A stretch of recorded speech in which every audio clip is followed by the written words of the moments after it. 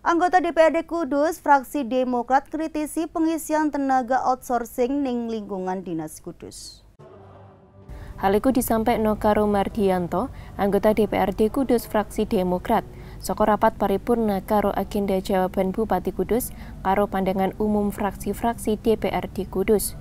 Soko interupsi ini, Mardianto nyampe noning pimpinan sidang lan Bupati Kudus supaya dinas-dinas ning Kudus orang ngulang perombakan tenaga outsourcing karo cara nglakono seleksi tes ulang karo tenaga outsourcing sing tahun wingi wis ngabdi luwih saka limang tahun.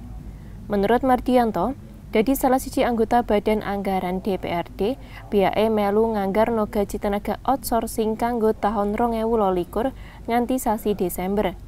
Hal iku didukung karo pengalaman ning taun sadurunge ning di ono akeh OPD bermanuver karo cara gawe seleksi dadaan.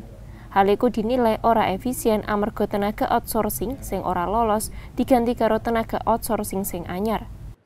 Karena outsourcing itu sudah mengabdi lama, tapi eh, karena tahun 2022 ini kan ketika saya kan di badan anggaran, eh, 2022 ini gaji outsourcing itu sudah 12 bulan mas. Saya tidak mau 9 bulan, mau saya tetap 12 bulan ini sudah di top. Uh, saya sebetulnya trauma mas, 2020 kemarin uh, ada beberapa OPD yang bermanuver. Seolah-olah dia mengadakan tes tapi banyak yang tidak lulus gitu loh.